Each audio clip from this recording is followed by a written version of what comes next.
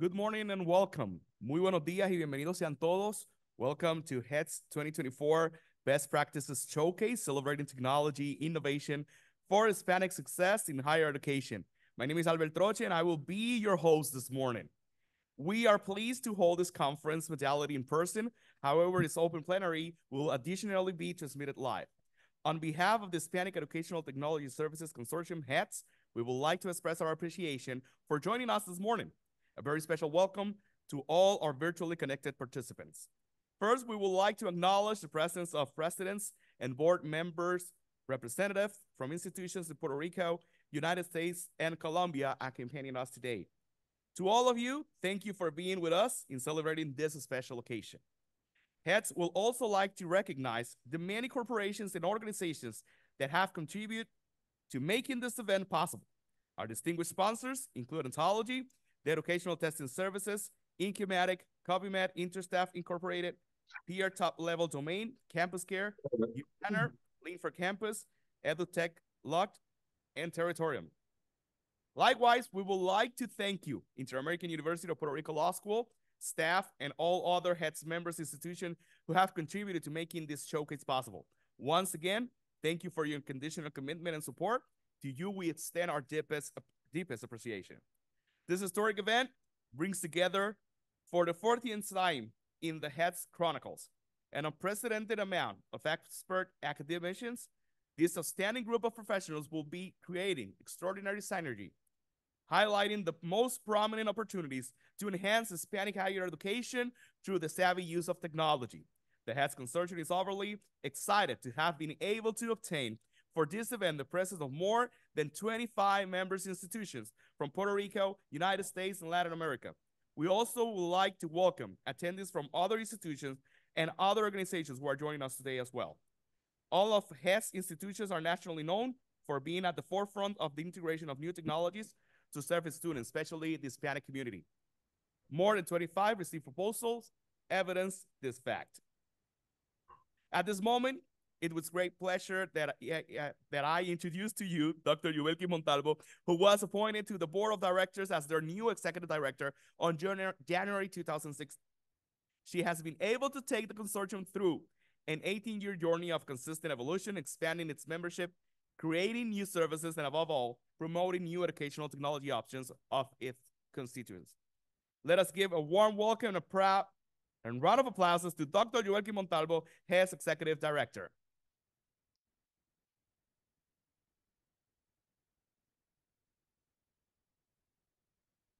Thank you. Thank you, Albert.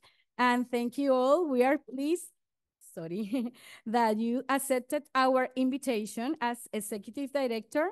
I am very proud to have been able to organize this extraordinary event for our members, collaborators, peer organizations, and institutions. That thank you for your presence and contact support to HETS initiative and also to the ones who are connected via Zoom right now. Thank you. We have already 29 people connected. We hopefully have more and thank you so much for being here. I would like to extend my gratitude to the executive committee for not only supporting the decision to meet again in person, we miss you a lot during this event, but also in expanding our reach out, conducting this plenary session virtually. Also, we greatly appreciate the ongoing support of our members, the valuable collaboration of the evaluation committee members, our corporate partners, and the consistent trust and guidance of the board of directors. Our staff, and especially the, the outstanding staff from our host institution today, the Law School of the Inter-American University of Puerto Rico. Coordinating all the logistics and technical require, requirements of an event like this is a result of a great team effort. So please help me recognize them with a round of applause. Thank you so much. Thank you. As a pioneer organization in the use of technology in higher education, HETS is delighted to continue serving your academic and student community during this new academic scenario. This occasion is an, a special one, not only because we exceed our expectation receiving, receiving more than 40 proposals of different initiatives, but also because we continue to share a forum for talented students to showcase their innovative projects today and tomorrow. Definitely, this best practices showcase is an opportunity for academic leaders from member institutions to share their vast knowledge and expertise.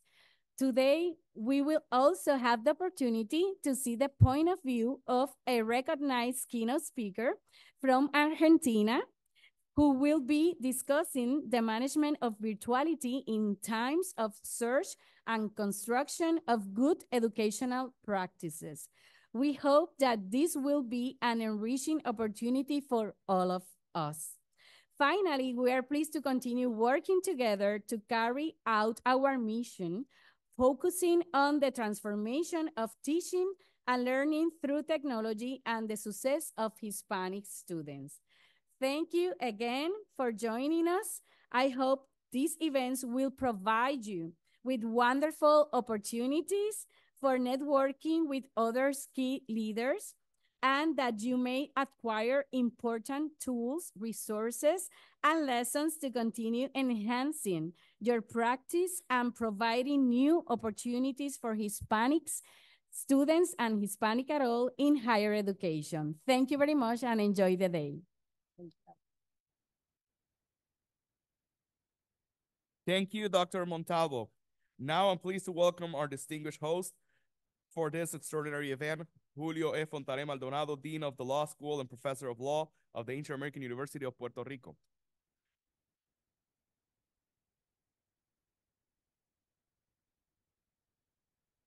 Buenos días a todos y a todas. Welcome everybody.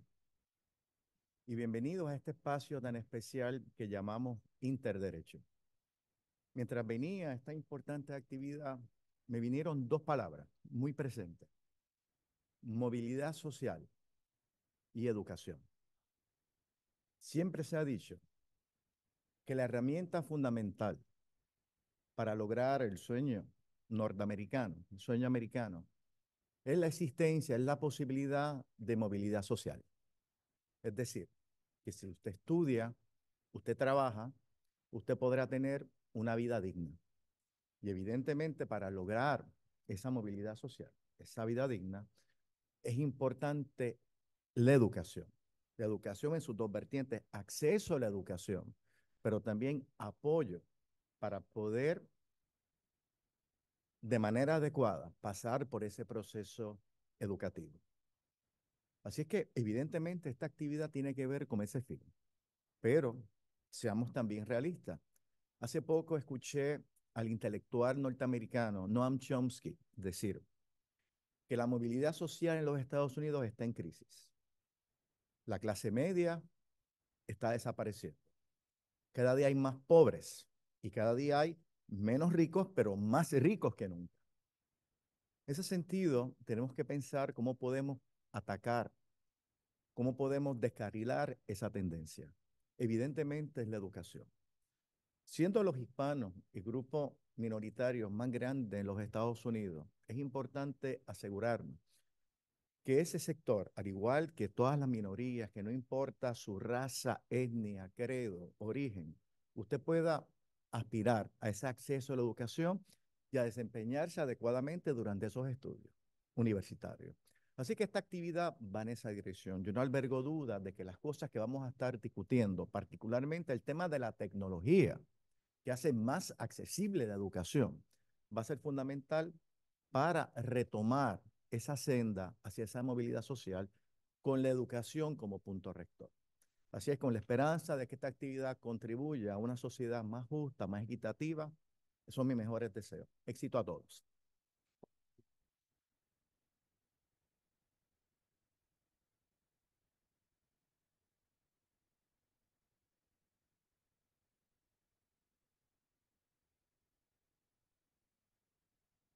The Hispanic Educational Technology Services Consortium has distinguished itself as a forefront organization in the integration of technology for the advancement of higher education and learning opportunities for the Hispanic community.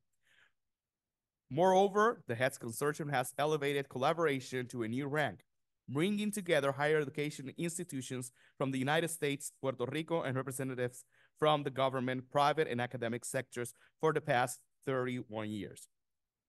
These sectors will be represented in this, the 2024 HEADS Best Practices Showcase, validating the importance of collaboration for the higher success of the Hispanic students in our community. Today's distinguished speaker will discuss the management of virtuality in times of search and constructions of good educational practices. Discussions will focus on how to face the task of getting in tune with the characteristics and demands of the society in which we live by building a model that overcomes good educational practices of networking, that installs the culture of virtuality and incorporates technology in teaching. The HEADS Consortium is proud to open the Best Practices Showcase with speaker Dr. Marta Mena, Director of Virtual Training Program for Researchers, Secretariat of Science, Technology, and Postgraduate Studies, and Director of the Master's Degree in University Teaching at the Universidad Tecnológica Nacional in Argentina. Dr. Mena was a consultant for the World Bank, directed the Electronic Training Program, PROCAE, for the virtual training of public officials from Argentina and neighboring countries. She was also a professor in the master's degree in educational technology at the University of Salamanca, Spain for 17 years. Outside of our multiple full-time job duties, Dr. Mena has been vice president for Latin America and the Caribbean of the International Council for Open Education and Distancia, ICDE, and a member of its executive committee. Finally, she has written countless articles, book chapters, and books, books about the modality in the region. Please help me welcome Doctora Marta Mena with a round of applause.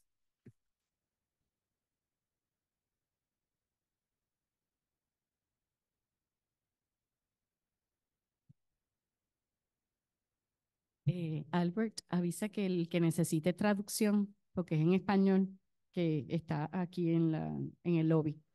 If you need translation, we have uh, availability of the translations right there at the front of the reception.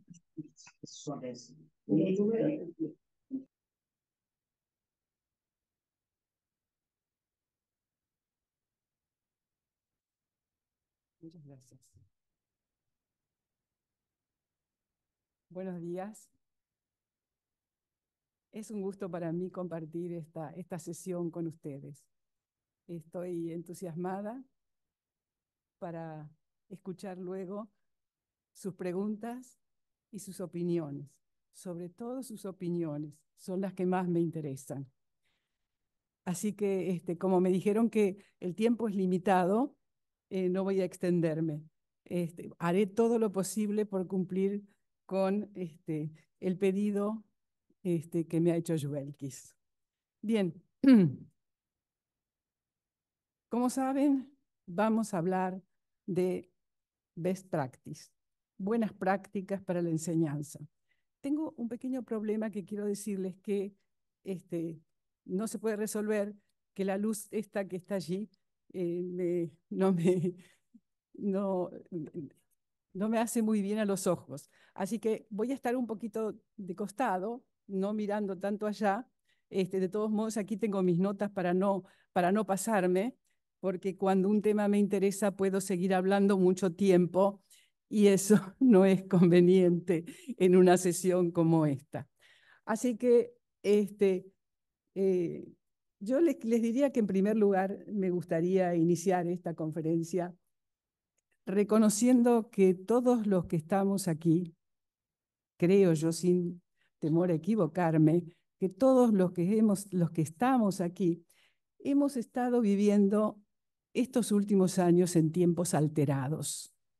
Está claro lo que quiere decir tiempos alterados, ¿no? Tiempos difíciles, tiempos nuevos, tiempos que nos exigen más que los tiempos habituales que habíamos estado viviendo hasta ese momento. Y esos tiempos nos preocupan cada vez que aparecen en nuestra historia o en nuestras vidas, eh, a veces sin tener una total explicación del origen, de la, de la posible duración de esos tiempos, o también pensamos en si van a tener o no real incidencia en nuestra vida y en nuestra labor como educadores. Yo lo digo porque luego de haber transitado ya casi 23 años, ya 23 años de este siglo, de este siglo que iniciamos, no sé si lo recuerdan, pero lo iniciamos en el 2000, este nuevo siglo, este, mm, mm, ¿cómo poder decirlo? Estamos comprobando, estamos dándonos cuenta de que entre otros incidentes, que ustedes después a lo mejor van a plantear otros incidentes que les tocó vivir en este tiempo que ha pasado de este nuevo siglo, del siglo XXI, a nosotros, nos, a todo el mundo, no a nosotros los que estamos aquí, los de, los de Estados Unidos, los de América Latina, los de Europa, no, a todo el mundo, sin excepción, les tocó vivir, este, y esas dos circunstancias, todos las conocemos cuáles son. Me estoy refiriendo, una de ellas, circunstancia o incidencia, como ustedes le quieran llamar, después podemos hablar de eso. Una de ellas es la pandemia y la otra es la aparición rutilante de la inteligencia artificial. Son dos circunstancias que, ¿por qué las destaco? Porque siempre enfrentamos circunstancias, los docentes sobre todo, eh, novedades, cosas que aparecen, tendencias, etcétera. Pero estas, lo, que tienen estas dos, según mi opinión, es que han influido sin excepción en todo el mundo. No ha habido lugar donde de esto no se esté hablando. Y lo supimos muy bien, afortunadamente, bueno, espero, eso espero, lo hemos, lo hemos superado, pero en la pandemia lo hemos vivido con una gran claridad. Una, eh, una situación que tuvimos que enfrentar y que nadie en el mundo quedó fuera. Estuvimos todos en la misma línea. Ambos incidentes, digamos, este, tenemos que aceptar lo que incidieron en el ámbito educativo también. Y vaya si los docentes lo sabemos, y vaya si los docentes tuvimos que trabajar mucho para este, mm, asegurar el derecho a la educación. No podía una pandemia este, hacer que, que nosotros no tuviéramos conciencia de que debíamos resguardar el derecho a la educación de todos y todas en todo el mundo. Este, yo creo que revisar de vez en cuando estos incidentes o seguir teniéndolos en cuenta todo el tiempo es de trascendental importancia para nosotros los educadores, porque nos va a permitir, eh, nos va a permitir sobre todo reconocer las transformaciones que se fueron viviendo en esos momentos, por ejemplo, en el sistema de educación superior, que me interesa mucho, en el cual trabajo, este, y esto lo vimos con toda claridad y pudimos, y pudimos evaluarlo ya bastante, porque estamos ya en una nueva etapa post pandemia, digamos, durante la pandemia pudimos hacer este trabajo. Y pudimos empezar a aceptar que dichas transformaciones tienen mucho de adaptación a un proceso excepcional de la historia. Eh, nos tocó vivir, nos tocó vivir un proceso excepcional de la historia, pero también tenemos que reconocer que tienen condimentos de aceleración de cambios y que nos muestran o desnudan nuevos caminos este, que deberíamos empezar a, revisar este, y también a, a transitar, digamos nosotros. Nuevos caminos que nos permitan construir nuevas estrategias de abordaje a nuestra labor educativa. Yo sé que ustedes me estarán diciendo, pero esta fue una situación de mucho dolor, una situación muy, muy difícil de enfrentar. Es cierto, pero tenemos que tener la posibilidad de analizarla desde otros puntos de vista también. Esos cambios que nos obligó a hacer, por ejemplo, la pandemia, cuán de fructíferos pudieron ser para la educación, cuánto movieron hacia adelante un cambio educativo. Bien, este, aquí quiero, eh, quiero resaltar que es absolutamente necesario, en mi, en mi opinión, claro, también, ¿no? Encontrar respuestas a ambas búsquedas, ya que mm, a poco que pensemos en nuevas prácticas, este, no va a poder ser, este, no, no vamos a poder avanzar en ellas sin tener en cuenta las necesidades y las urgencias que surgieron en, esos, en ese tiempo que hemos vivido todos durante la pandemia. Si lo olvidáramos y si siguiéramos adelante, seguiríamos haciendo más de lo mismo, que es lo que siempre reclamamos, los docentes siempre con la vista al frente y buscando nuevas formas de encarar la labor educativa. Eh, yo creo, por todo lo que estoy diciendo, por esta simple mm, introducción al tema, ¿no? Que la etapa pospandemia que ya estamos transitando requiere, en mi opinión, no solo de profundas reflexiones y análisis, sino también requiere de nosotros de la construcción de nuevas estrategias para abordarla, ¿no? Nuevas estrategias que nos permitan encarar la tarea con la certeza de que comprendimos y comprendimos la magnitud de los cambios que tuvimos que analizar. Este, y que seguimos comprendiendo los desafíos que aún tenemos que enfrentar, habiendo, esperemos todos, superado el, momento de la pandemia. Este, será necesario, en primer lugar, que aceptemos que el mundo es otro, que el mundo cambió y que ya no podemos volver atrás. Y esta es una nueva exigencia para la docencia. Este, ¿Recuerdan todos los que estudiamos desde que comenzamos a estudiar para ser docentes hasta que hicimos la, universidad y todo lo demás? ¿De qué manera pensábamos y tratábamos de imaginar el, futuro? El futuro llegó, el mundo es otro. De ninguna manera deberíamos intentar seguir viviendo en el mundo anterior porque las exigencias del momento son fuertes para eso, ¿no? Este, y tenemos que ver y analizar juntos qué repercusión tuvo en nuestras instituciones educativas, cuánto cambiaron, cuántos debieron cambiar y cuánto aún hay que seguir trabajando para cambiarlas. Por todo esto y mucho más, pero no, no, no me quiero extender, este, me, obligo este, con mi guía para no, porque cuando tomo un tema me, gusta extenderme y, me han dicho que no me puedo pasar mucho del tiempo. ¿sí? Este, por todo esto tenemos que aceptar eh, que la etapa en la que estamos requiere no solo de nuestros profundos análisis y reflexiones como hacemos cada vez que nos reunimos, sino fundamentalmente de encarar una tarea muy laboriosa la laboriosa tarea de ponerse a tono con las características y con las exigencias de la sociedad en la que vivimos, la sociedad en la que vivimos hoy, no ayer. Hoy estamos en el siglo XXI en la sociedad que se llama la sociedad de la información y el conocimiento.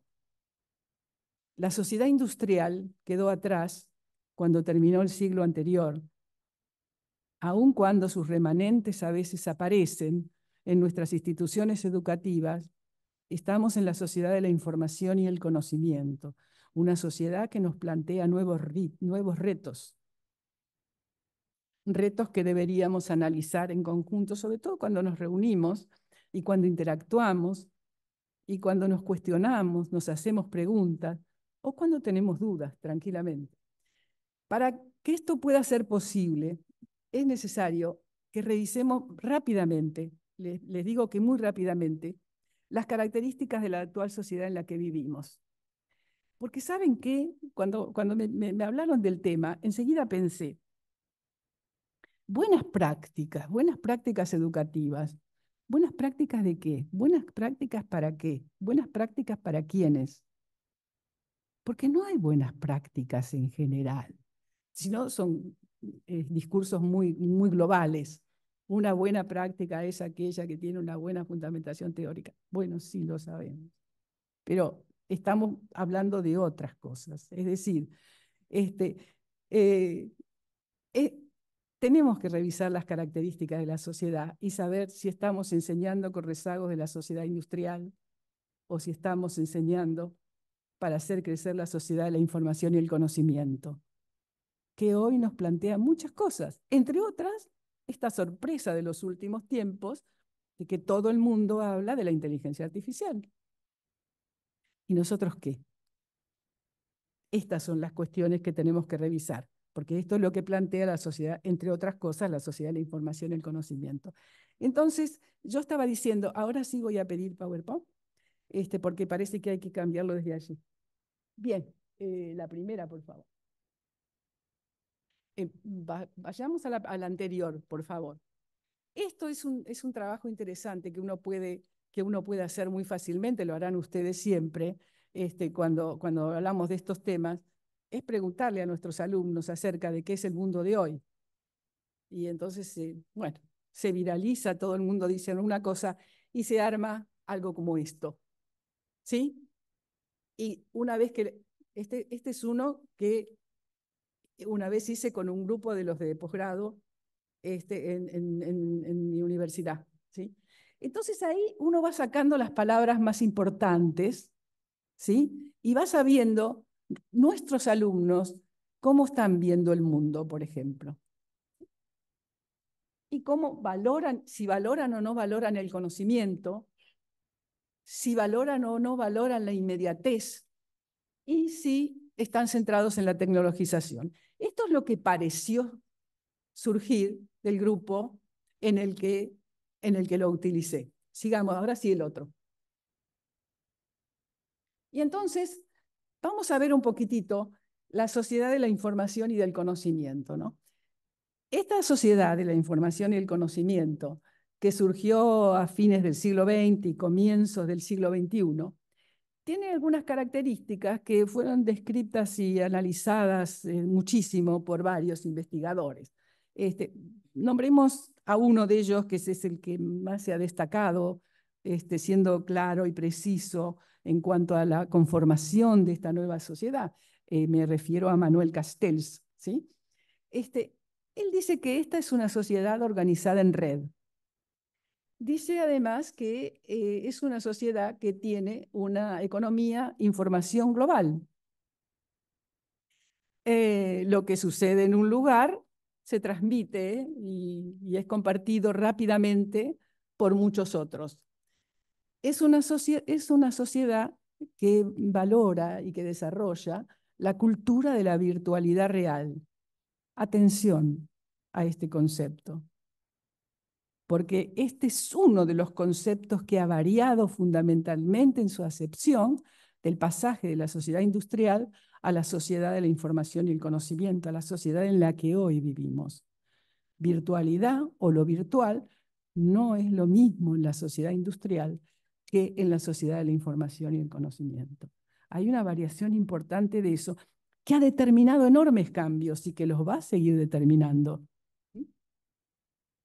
Este, ustedes recordarán, este, si alguna vez discutieron con sus alumnos o con quien fuera, con, colegas, acerca de la importancia de eh, trabajar virtualmente o la importancia de dar valor a ciertas modalidades educativas, como la modalidad distancia, como, como estas otras modalidades que mediatizan la relación pedagógica a través de una serie de estructuras y a través de una serie de tecnologías. Bien, esta es una de las formas de indagar y de empezar a ver hasta qué punto las nociones que son traccionadas desde la sociedad industrial han variado y se muestran distintas en la sociedad de la información y del conocimiento. ¿Y qué importancia tienen o no cómo definamos esas, esas palabras o esos conceptos? Eh, bueno, para eso la pandemia nos ayudó mucho, porque de un día para otro, de un día para otro, las cosas se modificaron.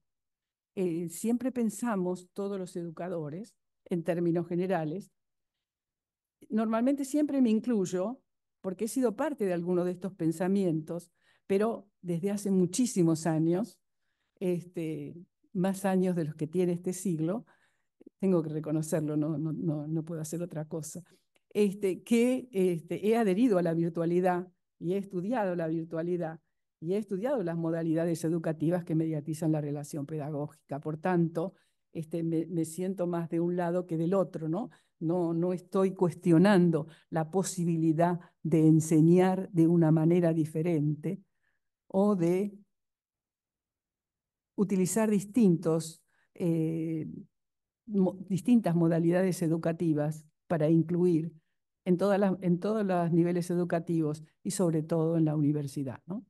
Esta posibilidad de estar a tono con lo que hoy las sociedades y, y, el mundo está exigiendo. Y no solo en la universidad, no solo a los docentes, en las empresas, en las industrias, en todos lados, hoy se está exigiendo esto que los docentes siempre estuvimos con, con temor de, de tener en cuenta. Y hoy son este, valores que se reconocen en los egresados universitarios, si los tienen o no los tienen.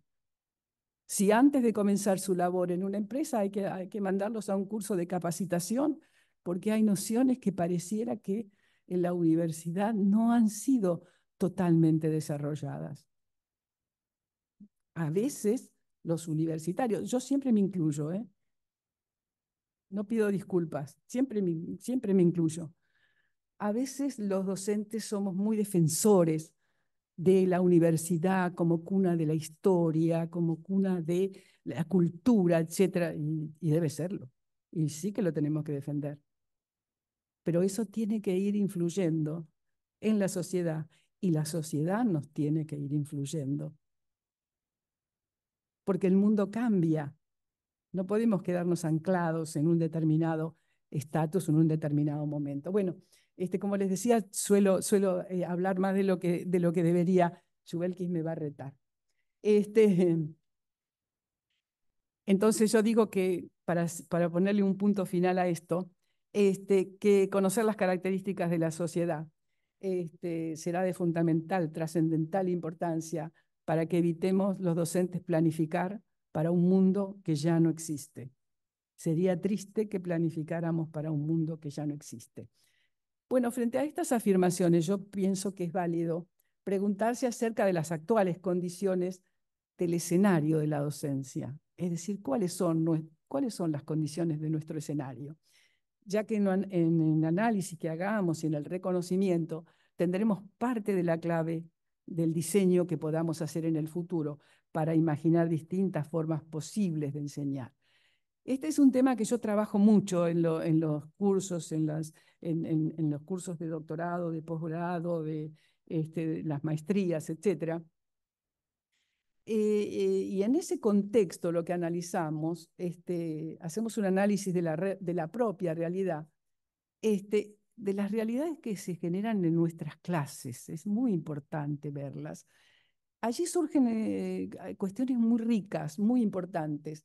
Algunos, sobre todo algunos de los distintos escenarios en que se ha movido la docencia en los últimos años, que ha estado plagada de muchas ciertas novedades.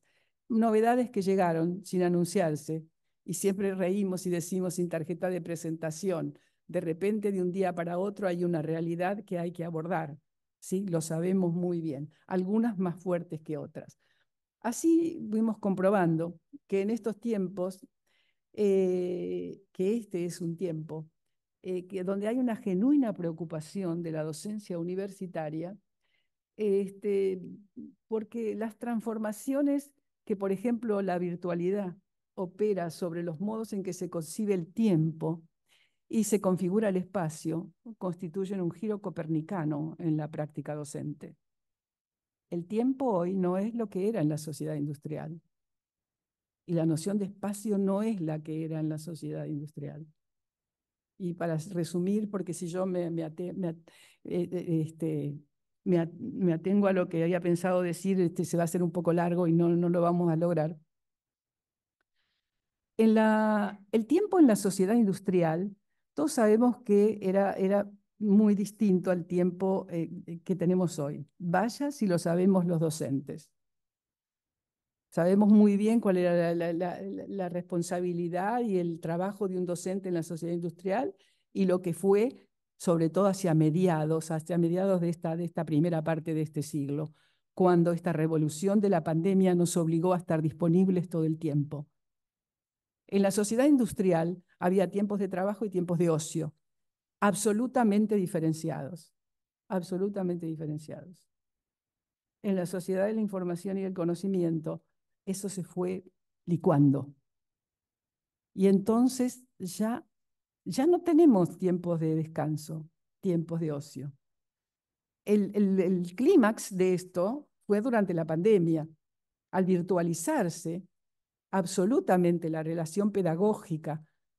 Por razones sanitarias se cerraron los, los, los, este, hay que tener mucho cuidado de lo que decimos acá. Los edificios de las universidades. Nunca se cerraron las universidades. Las universidades siguieron trabajando y trabajaron utilizando qué? La virtualidad. Aquello que durante siglos habían pensado que era lo no real, lo superfluo, etc. En ese momento con el objetivo de garantizar el derecho a la educación, las universidades de todo el mundo, de todo el mundo, trabajaron a distancia, trabajaron virtualmente, de una manera o de otra, exactamente igual, no. He, analizado muchas experiencias en muchos lugares del mundo, pero lo que todas han hecho es lo mismo. Han trabajado en la virtualidad, han, han virtualizado la relación pedagógica, porque por razones sanitarias no se podía este, permanecer en el mismo espacio y en el mismo lugar. Aquello que era sacrosanto en la universidad y en, todas las otras en todos los otros niveles educativos. No se aprende si no es con la presencia física, se decía. Y se empezó a descubrir que sí se puede aprender. Por supuesto que hay que capacitarse para eso. Por supuesto que hay que aprender a definir este, espacios, momentos, tiempos, etc. Y entonces cuando esto pasó, la noción de tiempo nos dimos cuenta de que había variado en la sociedad de la información y el conocimiento.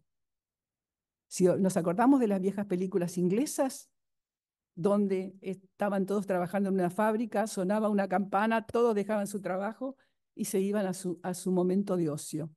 O iban a tomar cerveza, las veíamos en las películas, en las cervecerías o, o, cualquier otra cosa, pero era ocio, era relax. Nadie se le ocurría mezclar. A las fábricas no se le ocurría decir atienda este problema a las 10 de la noche, atienda Eran momentos separados. En la sociedad de la información y el conocimiento eso no pasó. Permanentemente estuve capacitando a, docentes en muchos lugares este, para que pudieran hacerse cargo rápidamente de la virtualidad y de la relación pedagógica mediatizada. Y todos decían lo mismo. Ahora los, los alumnos me consultan en cualquier horario. Como no hay un encuentro físico en las, instituciones presencial, entonces se sienten libres a través de la tecnología de enviarme preguntas o de, cuestionarme cuestiones, eh, algunas cosas, a través de, este, eh, a través de la virtualidad. Y allí es que empezaron a hacer un nuevo análisis. Este, algunos se sonríen porque algunos debieron sufrir bastante. Lo sé porque todos los docentes se quejaban de eso. No es posible que ya no tenga tiempo y esté cenando y escuche que alguien me hace una pregunta. Bueno, este, todo esto, ¿por qué lo digo? Porque es, importante darle, darle importancia a esa descripción que hizo Manuel Castel de las características de esta sociedad. El tiempo ya no es lo que era. El tiempo se caracteriza y se divide de una manera diferente. Y entonces, nos guste o no, debemos empezar a pensar en eso, porque vivimos en una sociedad y esa sociedad se construye en conjunto y se cuestiona en conjunto también. No es que no lo podamos cuestionar, lo podemos cuestionar. Es válido que un docente, que un docente nos diga, si estoy cenando no puedo estar contestando preguntas. Es cierto, pero obliga a pensar que como los tiempos son diferentes hay que poner nuevas reglas, hay que trabajar diferente, sin atarse aquella otra cuestión de que el tiempo es rígido y lo divido así. Bueno, pero también la noción de espacio, no, yo puedo seguir, pero no quiero, porque si me entusiasmo sigo mucho, pero también la noción de, espacio ha cambiado. Resulta que este, cuando por razones sanitarias se debieron, cerrar los este, edificios de las universidades, se tuvo que empezar a trabajar virtualmente. Y se pudo hacer porque aun cuando no se había adherido absolutamente a todo este movimiento, las universidades eran conscientes de que debían reunir mucha tecnología y este, fueron comprando equipamientos tecnológicos. Esos equipamientos tecnológicos trajo también lentamente nuevos roles dentro de la universidad.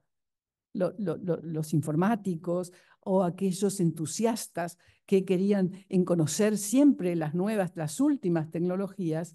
Este, y entonces la universidad se había estado equipando, pero se había estado equipando para su uso en la presencialidad. No lo había pensado de otra manera. Y en ese momento, ¿saben qué se descubrió? ¿O saben qué mm, se descubrió? eh, todos nos dimos cuenta, digamos, esta es la palabra que tengo que usar, todos nos dimos cuenta de que la universidad es una institución binaria. ¿Por qué es una institución binaria? Porque tiene campos físicos, muchos campos físicos. Pero en este tiempo en que se preocupó tanto por la tecnología, construyó nuevos espacios, espacios virtuales, que hoy son como construcciones, son equivalentes a las construcciones físicas, porque a través de ellos no solo se puede atender la- la- las urgencias de una pandemia, se pueden hacer maestrías, se pueden hacer eh, otro tipo de, propuestas, se puede este, combinar, hibridar con la presencialidad y se puede ofrecer nuevas perspectivas. Y entonces la universidad desde ese momento se convirtió formalmente en una institución binaria, con espacios físicos y con espacios virtuales, que lentamente las universidades empiezan a, atenderlos este, mucho más. Este, dije algunas nada más de, de todas las que, no, vuelvan para atrás.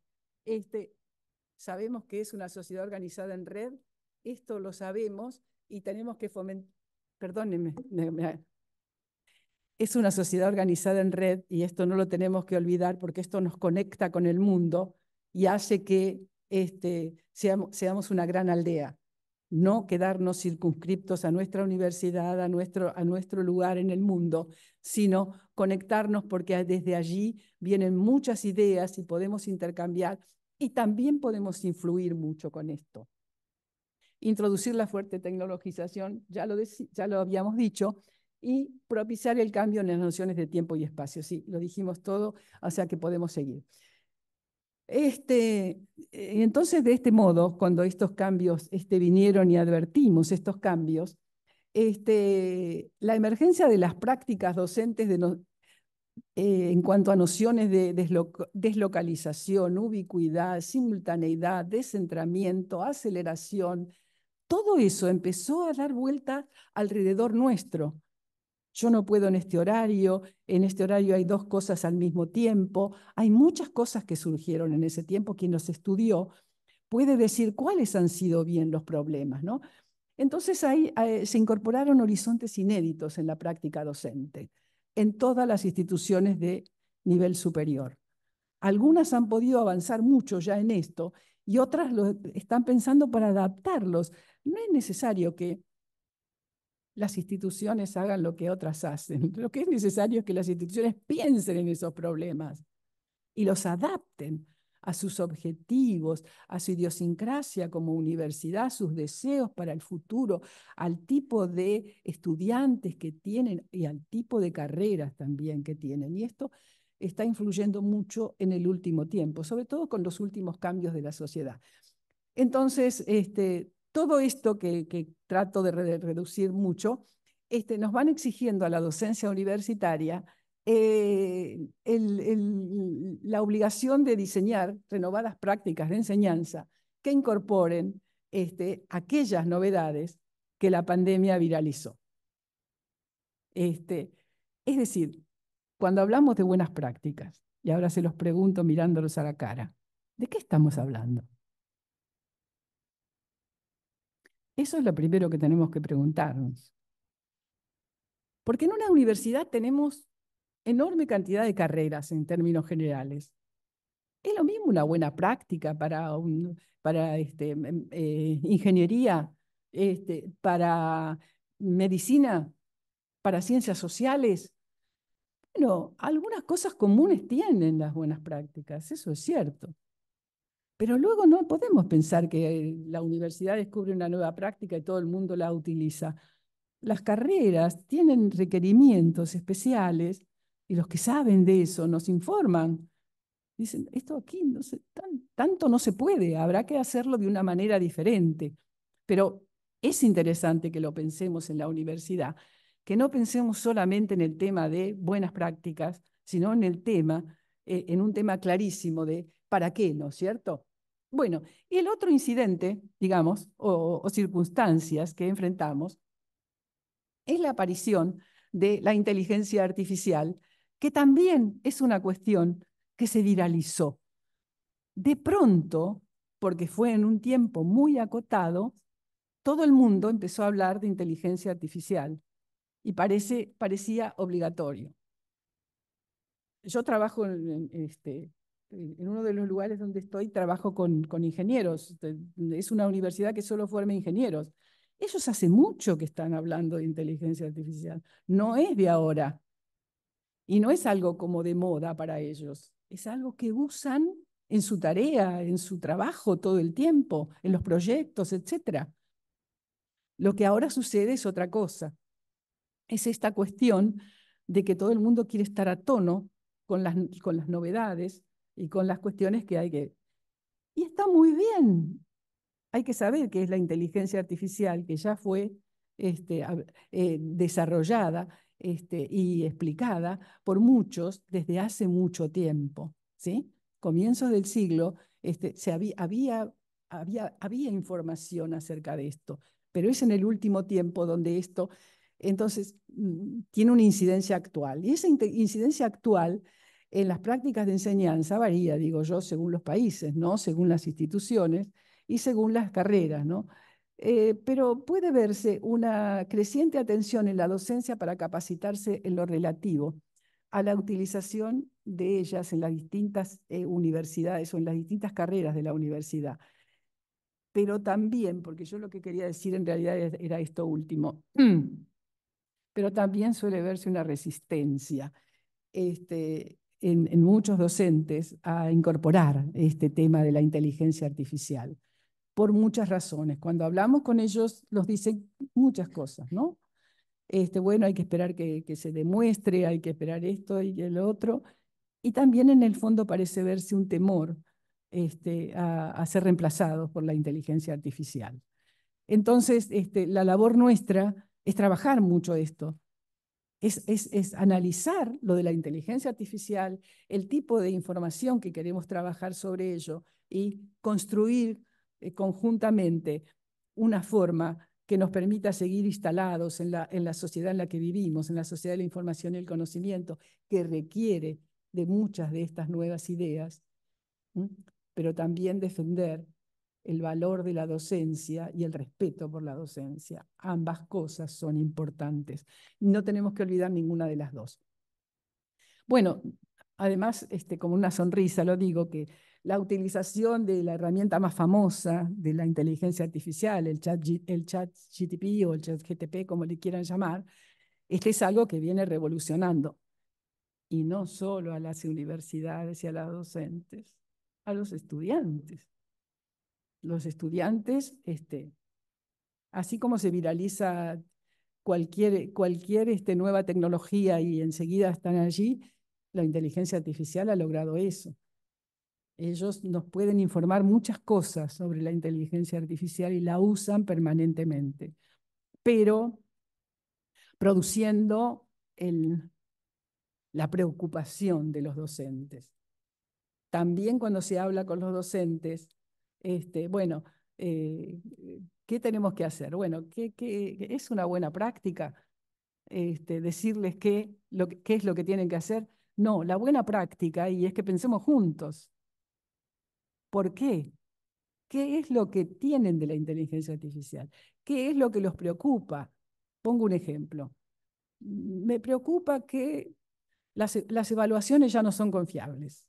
Las evaluaciones ya no son confiables porque ellos le preguntan al chat GTP, el chat GTP le da la respuesta, la respuesta es exuberante, la respuesta está fundamentada, pero el docente nunca sabe si realmente el estudiante avanzó, estudió, sabe de eso, o si simplemente cortó y pegó. Entonces, estas son cuestiones que no solo tenemos que trabajar con los alumnos desde el punto de vista ético, mm, parece que no da muchos resultados. Pareciera que no, no digo que no hay que hacerlo, ¿no? No digo que no hay que hacerlo, pero hay que pensar en otras cosas más. Hay que pensar en otras cosas más. Hay que pensar en qué tipo de evaluación le damos a los alumnos. Les pedimos evaluaciones que puedan encontrar en el chat GTP. Quiere decir soluciones ya hechas, porque el chat GTP no inventa nada. Lo busca en la bibliografía. Corta y pega también. Y le da un, algún toque, obviamente. Y entonces, no podemos evaluar como una buena práctica con cuestiones que no estén centradas en algo que ya está ya dicho, sino en una construcción. Y una construcción de una solución de un problema que tenga que ver con lo que estamos aprendiendo, con la carrera que, en la que estamos, etcétera, si está circunscrita a una temática, no se puede encontrar tan fácilmente hecha. Tal vez no la tiene que responder un solo alumno esa evaluación. Tal vez la, evaluación no debería ser solo individual en estos casos. Podría ser de una construcción conjunta, en grupo.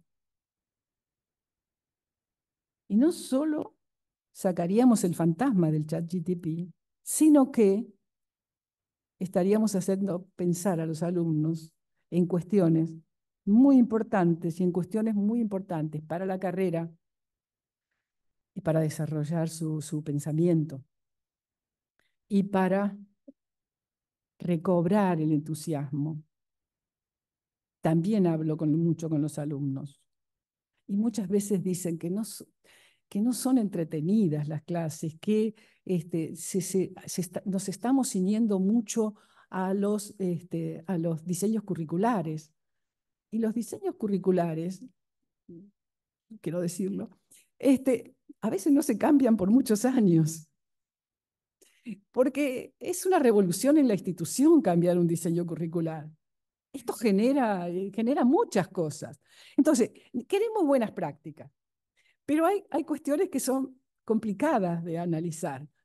Entonces, tenemos que, tenemos que animarnos, tenemos que animarnos a decir, bueno, vamos a construir juntos vamos a construir una nueva forma de abordaje a estos temas que nos tienen tan preocupados. No nos va a preocupar más el chat GTP. Lo vamos a usar, lo vamos a usar. Por ejemplo, quiero cambiar en una, en una determinada carrera la forma de abordar una solución a esto. Bueno, busquen en el chat. ¿Cuántos antes que nosotros se plantearon la misma pregunta? Si le preguntan eso, se los va a contestar, porque contesta todo. ¿Cuántos autores han publicado cuestiones referidas a esto? Etcétera. El chat GTP ya está de nuestra parte. Pero hay algo más que el chat GTP no va a poder decir. Aquí, en esta institución, con la opinión de fulano, ¿qué pasa? ¿Cómo lo podemos incorporar? ¿Es una solución a nuestros problemas? Y ahora, diseñen, al final, diseñen una práctica o diseñen una propuesta que sirva para resolver estas, temáticas que nos estamos planteando. Si está basada en lo que estuvimos discutiendo hasta ahora, el chat GTP no se enteró. Porque no tiene espías en nuestras clases el chat GTP. El chat GTP, si ustedes miran bien, a veces tampoco es de la bibliografía absolutamente reciente, es un poquito más, más atrás. O sea que este, es, yo sé que es un incidente que llegó y que preocupó mucho, mucho a los docentes en las clases. No solamente por la evaluación, sino también por algunas otras cuestiones que, que ustedes habrán visto en sus cursos.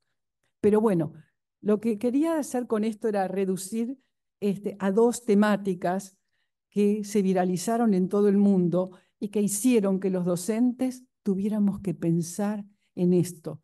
Y al pensar en esto, fuimos reconociendo que la sociedad en la que vivimos nos está exigiendo algunas cosas.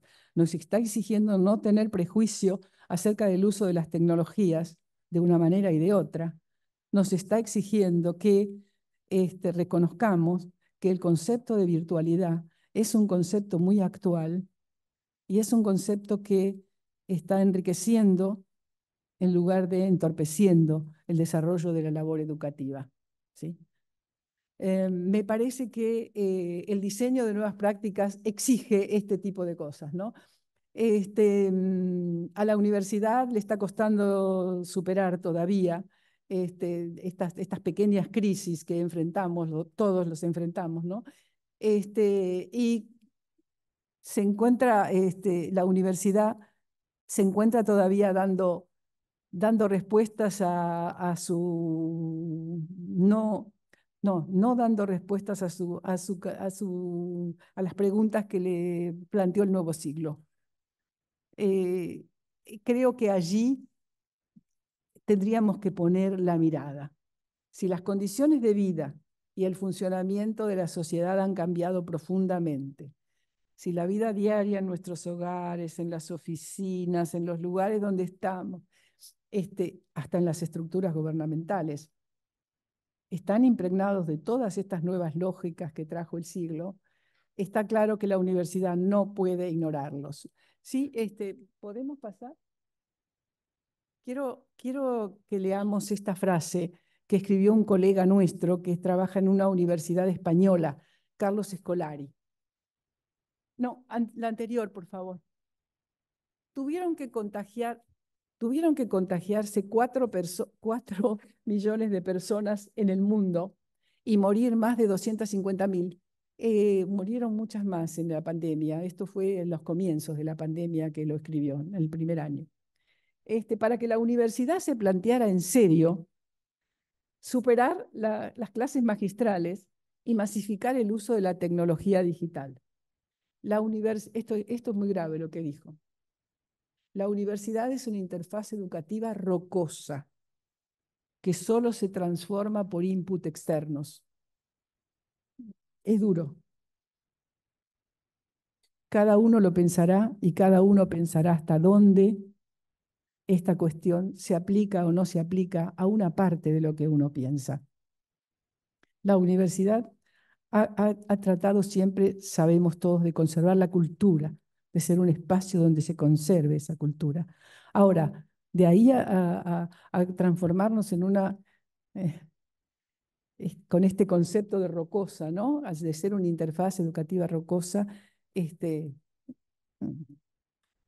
está el peligro de que siempre al comienzo nos opongamos a las novedades, defendamos el statu quo y luego, cuando la sociedad, etcétera, este, no, no, no, nos, lo exige, eh, entonces empezamos a, analizar, deberíamos cambiar los tiempos y empezar un poco antes, a analizarlo y a ver estas cuestiones, cómo este, influyen o no influyen, ¿no? Bueno, este, mm, em, le dediqué mucho tiempo, lo sé, le dediqué mucho tiempo, lo sé.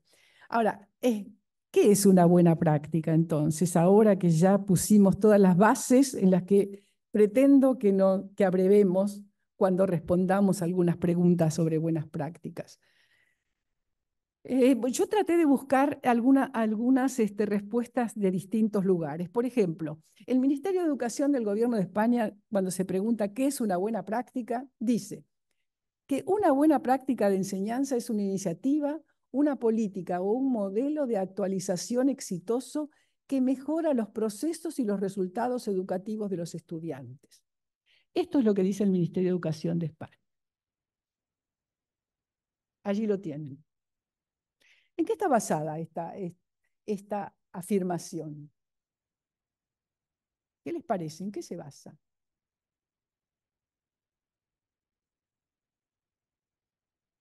Sí, de a uno, todos no. Yo, yo lo digo, yo lo digo. Yo lo digo lo que me parece a mí. Yo digo lo que me parece a mí. Este, dirán ustedes si es así o no. A mí me parece que esta definición se, centra en los resultados.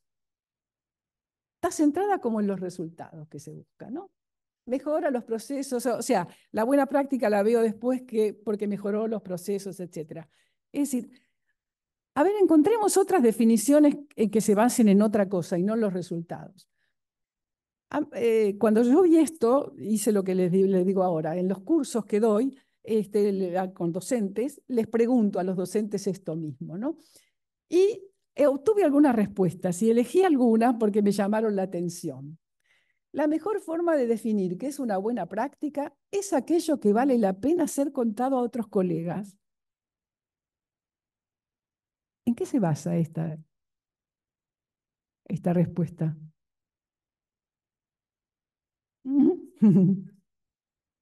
Sí.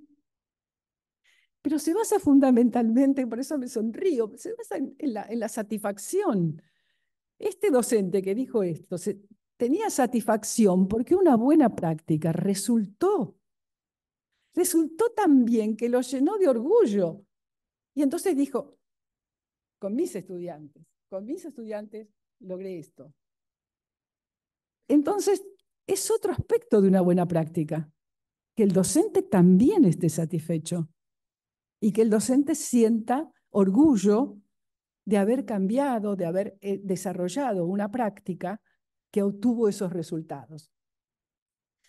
A ver, otra más. Yo creo que una buena práctica es aquella que vale la pena porque funciona, porque genera mejores procesos de aprendizaje, porque tiene sentido y que puede sostenerse en el tiempo. ¿Qué pondera aquí? Aquí pondera los resultados, ¿verdad? Está, está, me parece que le pone más peso eh, a, los resultados aquí. Descubro que tiene sentido, descubro que funciona, o sea que me funcionó cuando lo, cuando lo propuse, etc. Entonces, una buena práctica se centra en distintas cuestiones, en distintos objetivos cuando yo desarrollo una buena práctica. Entonces, ¿para qué desarrollo una buena práctica? Para sentirme mejor como docente y que los alumnos se sientan mejor, lo cual es un muy buen objetivo que estemos analizando lo que queremos analizar y que ambos estemos satisfechos con lo que tenemos que hacer, ¿sí? Pero, ¿qué decirle? ¿Cambiamos? Por favor, cambiemos ahí, ¿sí? ¿Qué decimos acerca de las buenas prácticas? Podemos decir que alientan al estudiante y el contacto del docente con los estudiantes. Algunos dicen que esto es una buena práctica, porque cuando uno propone un, buen tema a desarrollar, una buena práctica a desarrollar en las clases, el estudiante se siente alentado. Y al revés, cuando el estudiante se siente alentado, nosotros pensamos, es una buena práctica. Este, porque muchas veces la queja es que los, los estudiantes no están interesados demasiado en este tipo de cuestiones. Una buena práctica es cuando se enfatiza la cooperación entre los, entre los estudiantes, ¿sí? Y yo diría que entre los docentes también. ¿Por qué cada docente tiene que tener sus propias buenas prácticas? ¿Por qué los docentes no podemos reunirnos y organizar buenas prácticas que se vayan desarrollando en nuestros diferentes cursos? Esto es posible, la labor colaborativa de los docentes, porque fomentan el aprendizaje activo. Es cierto, es cierto. Una buena práctica tiene que fomentar el aprendizaje activo. y porque ofrece una adecuada retroalimentación sobre el aprendizaje. Bien, ahora, y dan importancia a organizar efectivamente la tarea. Ahora, ¿qué debe tenerse en cuenta? Aquí es necesario que, tengamos que recordar que las mejores prácticas educativas para la enseñanza universitaria pueden variar y deben variar según el contexto y según las disciplinas. No puede haber las mismas prácticas, o no debería haber, o, es difícil que haya las mismas buenas prácticas en carreras tan diferentes como en medicina, como en ingeniería, como en ciencias sociales, este, humanidades, etc. Hay eh, diferencias en su estructura, en sus objetivos, etc. Ahora, eh, algunos de los que desarrollan buenos enfoques destacados de buenas prácticas dicen que hay que tener en cuenta esto. El aprendizaje tiene que ser aprendizaje activo, promover la participación de los estudiantes mediante discusiones, resolución de problemas, etc. El uso de tecnología educativa, algo que este, cada vez más este, los, los, este, los docentes y las instituciones promueven. Este, la evaluación formativa eh, permanentemente y el enfoque en habilidades prácticas. Este, vamos a ir viendo ya las, últimas, las últimas cuestiones que se, lo estamos pasando, ¿no? Sí. Este, que se, ¿Cuáles son los atributos de una buena práctica educativa y el rasgo que las caracteriza? Esa, las, nuevas, las prácticas, las nuevas buenas prácticas tienen que ser innovadoras, es evidente que no podemos utilizar el mismo tipo de práctica este, de enseñanza este, repetitiva en el tiempo. Tienen que ser innovadoras. Si el estudiante no está interesado, este, es muy difícil que, vaya a resultar una buena práctica. Es difícil que tengamos buenos resultados. Tienen que ser efectivas, obtener los logros que, quiero obtener, sostenibles en el tiempo, pero no para siempre, sostenibles, este, y tienen que ser replicables. Es posible que podamos este, compartir esas, buenas prácticas cuando dan buen, resultado. Este, es necesario que tengamos en cuenta que es importante adaptar estas prácticas a las necesidades específicas de cada curso y de los estudiantes. Sintetizando, las buenas prácticas de enseñanza y los sistemas virtuales y presenciales difieren en términos de interacción, comunicación, flexibilidad, autogestión, recursos y materiales, sin olvidarnos el tema de la evaluación, el apoyo y el seguimiento. Todo eso son diferentes de una carrera a otra. Entonces, tenemos que tenerlo en cuenta en el momento de diseñar las nuevas prácticas. Y no porque en un libro encontré buenas prácticas, la descripción de buenas prácticas, puedo pensar que van a ser adaptadas o eficaces en la carrera en la que estoy trabajando como profesor. Es importante que este, haya este, correspondencia entre la estructura de la buena práctica y la carrera este, que se está desarrollando. Bien, hasta aquí, llegó, este, hasta aquí llegaron mis disquisiciones acerca de las buenas prácticas. Como verán, este, las centré en las buenas prácticas que vamos a necesitar desarrollar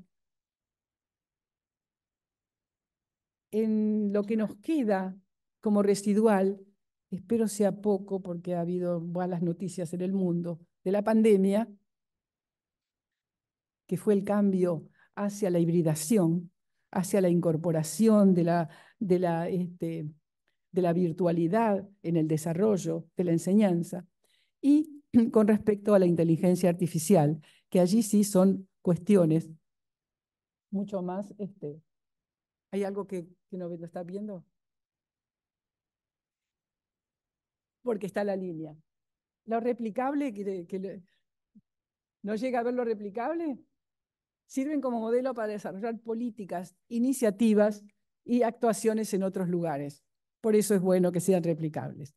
Bueno, este, ¿qué, es lo que estaba diciendo? Me, distraje, me distraje en el final.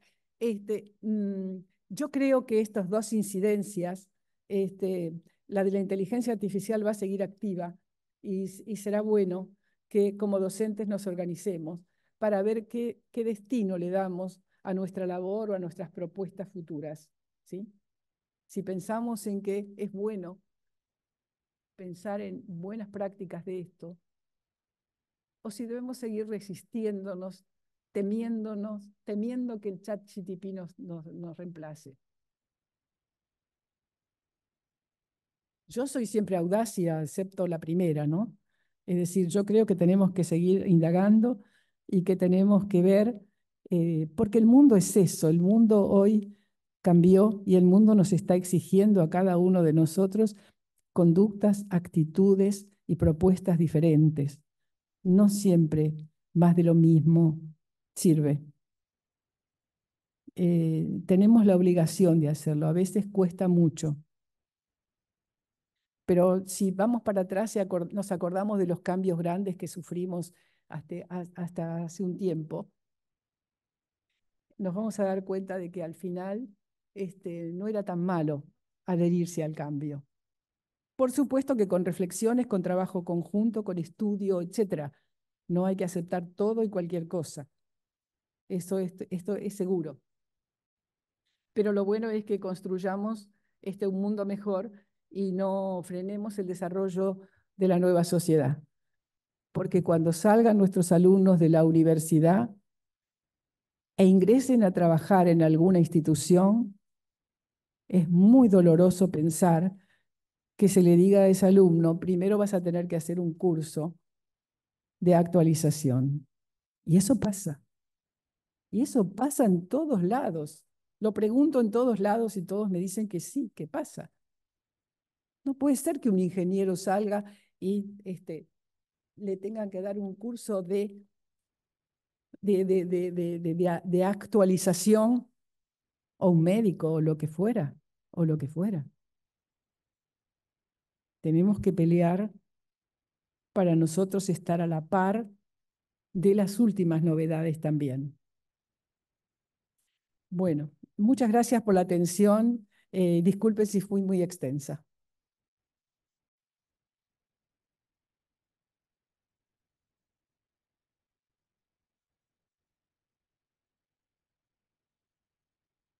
Bien? No, quédate ahí que ahora van las preguntas.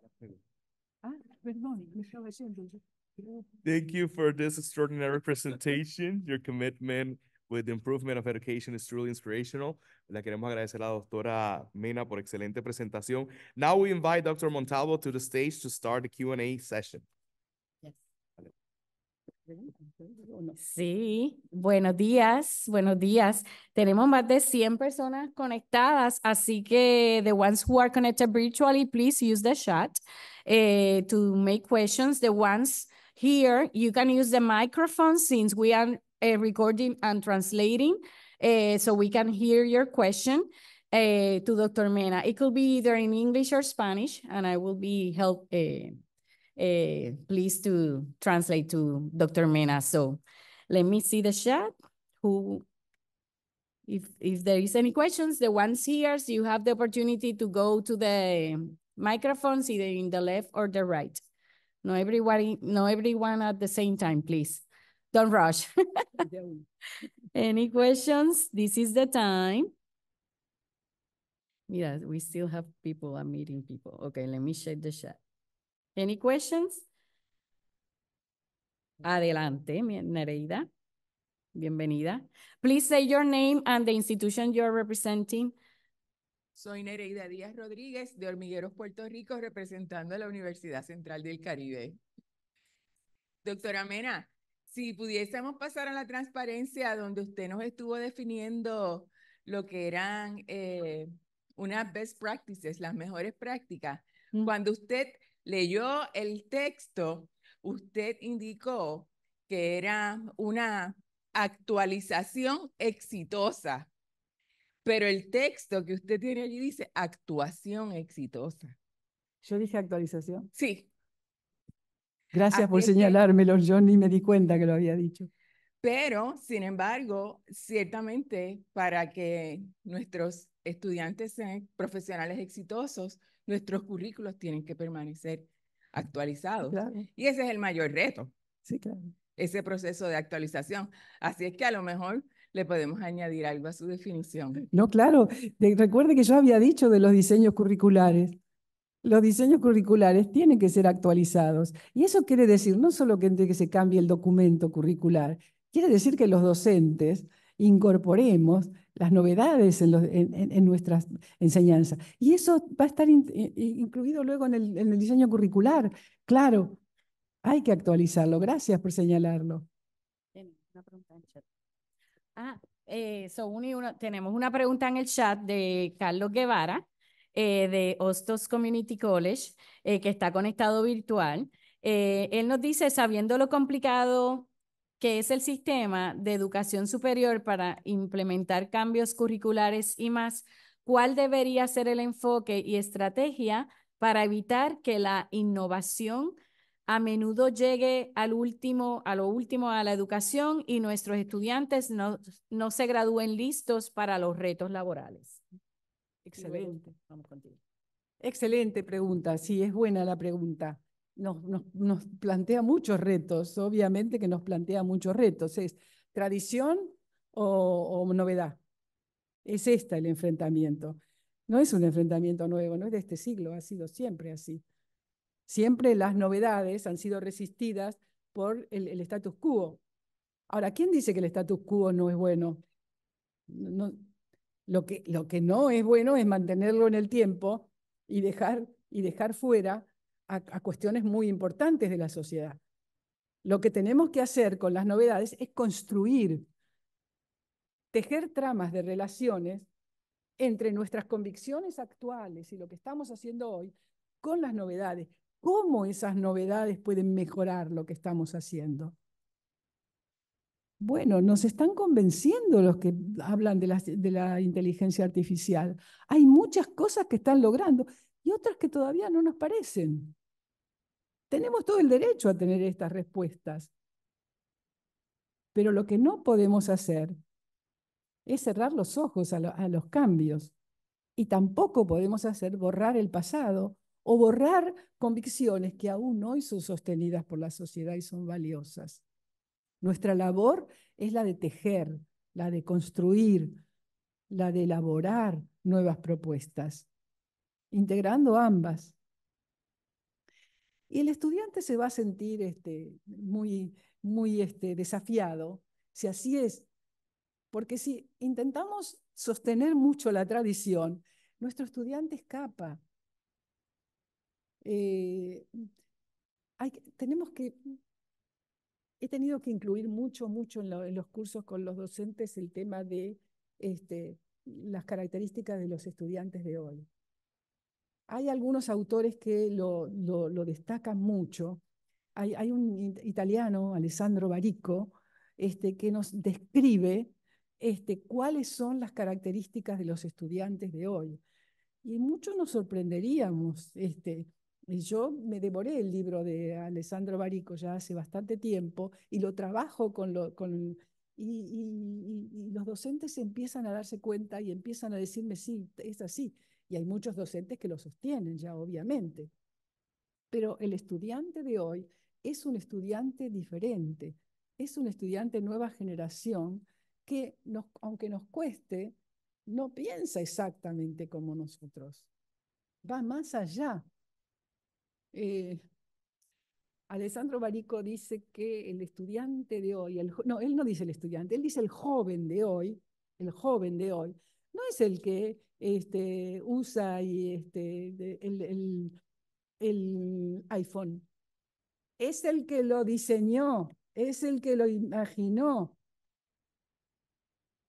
¿Y entonces? ¿O acaso no les gusta a ustedes tener un iPhone? ¿No les sirve un iPhone? Y resulta que no es de nuestras mentes que salió, es de los jóvenes de hoy que pudieron ver. Pero el iPhone es solo un ejemplo. Son muchas cosas. Hay otro eh, autor que es muy bueno leerlo, Michel Serres, este es francés, y escribió un libro pequeño, muy fácil de leer, muy, muy bonito, que se llama Pulgarcita. ¿Por qué se llama pulgarcita? Porque él a los, a los jóvenes de hoy le llama pulgarcitos o pulgarcitas. ¿Por qué lo llama pulgarcitos a los estudiantes de hoy? ¿Por qué se les ocurre que les llama? Porque viven comunicándose a través de sus pulgares. Y él los describe maravillosamente bien a, los, a los jóvenes de hoy. Y él dice que nuestros jóvenes de hoy están muy lejos de las cosas que a veces les proponemos. Ellos ya no reconocen las estructuras universitarias, los, este, los lugares de, de, reunión en las universidades, ya tienen otras formas, ya tienen otras formas. Y nosotros por lo menos deberíamos conocerlas, ¿no? profundizarlas y ver hasta qué punto alguna de ellas, a mí, muchas me convencen, muchas. Eh, gracias, Marta. Tenemos otra pregunta aquí y otras más en el chat. Eh, por cuestiones de tiempo, no vamos a tratar de responderlas todas, pero no queremos eh, salir, no estamos a cinco minutos de acabar la sesión, así que vayan su nombre, su institución y al grano con la pregunta. Gracias. Buenos días. Siguiendo el ejemplo de Nereida, soy Jesús Santiago de Bayamón, Puerto Rico, y de Caribbean University. Jesús Santiago. Jesús. Ah, Caribbean Doctora Mena, creo que usted fue muy honesta ¿verdad? Al, implícitamente dejarnos saber que hay que hilar fino cuando utilizamos el término mejores prácticas. Porque cuando yo hablo de mejores prácticas, yo estoy emitiendo un juicio. Yo estoy haciendo una evaluación de decir que estos procederes son mejores o superiores a otros, ¿sí? Así que es un asunto bien importante que involucra una gran responsabilidad y me parece que de ahí radica el valor de esta convocatoria que nos hace HEDS y, y llamarle a esto el Best Practices Showcase. Habiendo dicho eso, eh, llegó el chat GPT y el chat GPT es capaz de responder casi, casi, casi todas las preguntas. Entonces, los procesos educativos se basaban en promover que nuestros estudiantes pudiesen solucionar problemas, hallar respuestas. Eh, me parece a mí que ahora tenemos que mirar cómo vamos nosotros a provocar que nuestros estudiantes sean capaces de preguntar de la manera más profundamente posible. Porque en el acto de yo redactar ese prompt para el chat GPT, hay memoria, hay comprensión, debe haber análisis, debe haber procesos de evaluación y debe radicar el acto de crear ahí también. Entonces esa rocosidad de la cita que usted nos trae se ve, eh, se ve amenazada, se ve amenazada por esto. Mi pregunta es la siguiente, ¿pudiésemos nosotros convenir que las mejores prácticas deben tener todas como denominador común el que provoquen que nuestros estudiantes y nosotros seamos mejores personas con mayor capacidad para utilizar nuestro pensamiento toda vez que lo que une al derecho, a las ciencias sociales, las ciencias naturales, es precisamente las filosofías humanistas y cognitivas sobre los que son los rieles sobre los que corre todo acto educativo. Yo creo que nosotros para elaborar una mejor práctica tenemos que tener en cuenta, entre otras cosas, a los estudiantes.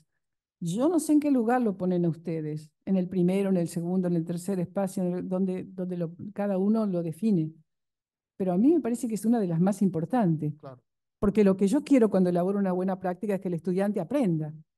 Y si quiero que el estudiante aprenda en contra de sus intereses o en contra de sus deseos, estoy planteando una cuestión que difícilmente va a tener buenos resultados. ¿A quién le gusta que lo obliguen a aprender una cosa que no le interesa?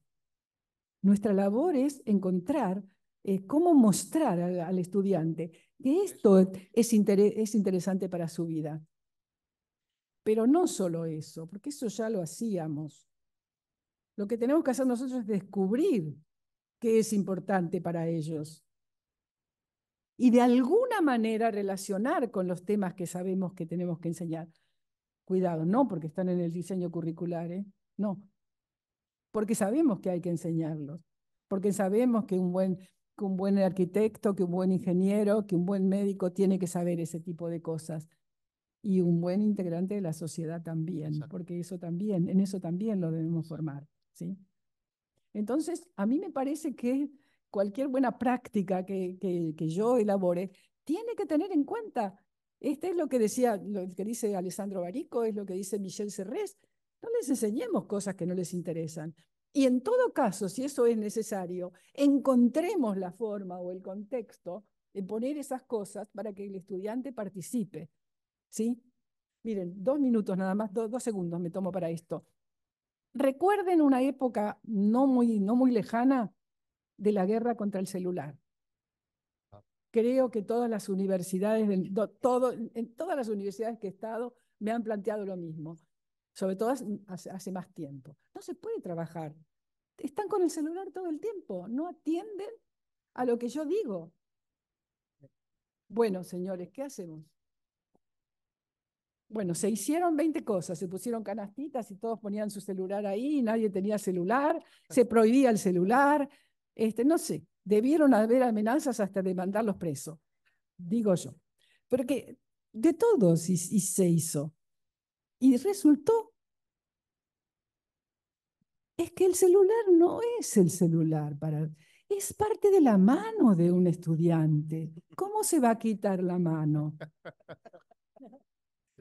está integrado a su físico. Entendamos, entendamos. Bueno, muchos grandes también ya, ¿eh? Vamos a empezar a reconocerlo también, pero esto es cierto. Entonces, este aceptar que eh, una de las características de la sociedad de la información y el conocimiento es la tecnologización, es lo que nos va a llegar a entender que cuando nos formamos esto no era tan así ahora es distinto. Y cuando asumimos el rol de docente tenemos la obligación no solamente de saber lo que tenemos que enseñar, sino saber sobre nuestros alumnos, conocer a fondo nuestros alumnos. Tanto Barico como Michel Sergres, los dos autores que hablé, les han hecho como una radiografía a los, a los, a los jóvenes de hoy. No hablan de los estudiantes, ellos hablan de los jóvenes de hoy, que son los que nosotros educamos en las universidades, los jóvenes de hoy, hay- Está bien que hay, a veces hay personas más grandes en las universidades, pero en general son jóvenes. Entonces, estoy de acuerdo, tiene que tener, tiene que interesarle. El estudiante nunca va a rendir de la misma manera si está interesado que si estudia obligatoriamente. Muchas gracias. ¿Listo? ¿Me voy o ya? Tenemos muchas preguntas en el chat. eh, lamentablemente por el tiempo, eh, tú que estás presente puedes ahorita acercarte a la doctora Mena y hacerle la pregunta, a igual que Ivonne, lo lamentamos, no queremos eh, salirnos de la agenda. Sabemos, sabíamos que íbamos a tener muchas preguntas porque es un tema que nos apasiona a todos y agradecemos a la doctora Mena por esta eh, reflexión tan inspiradora. Tenemos un obsequio para ella de parte de HEDS. Gracias, Albert, mi ayudante aquí, excelente, claro. Unos detallitos aquí para que nos recuerdes y una tarjeta de agradecimiento por todas las penurias que pasó para llegar hasta acá, porque nos contó que su vuelo fue bastante, ¿verdad? Con mucha eh, turbulencia, pero llegó y después el hotel nos dio... Ajá, sí. Crucé toda América del Sur en medio de turbulencias, Sí. pero llegué. Exacto, y gracias a Dios pudo descansar en el hotel, así que un aplauso. Gracias. Gracias por superar todos esos obstáculos para llegar hasta aquí. Ha sido para nosotros, para HEDS, un placer tenerte. Lamentablemente, el doctor Carlos Morales, eh, chairman, ¿verdad? Nuestro presidente de la Junta de Directores, no puede estar físicamente aquí, que fue el que, ¿verdad? Eh, recomendó a Marta para esta ponencia por, por problemas, ¿verdad? Eh, que tuvo en su institución para salir. Eh, pero eh, se va a estar conectando con la Junta virtualmente, así que agradecemos a Carlos también para que quede en récord en la grabación esto. No se me vayan que Albert va a dar unos anuncios finales y entonces seguimos con la agenda empezando a las 10 y 40. Adelante, Albert. Y gracias, Marta, nuevamente. Gracias a Gracias todos. a ustedes.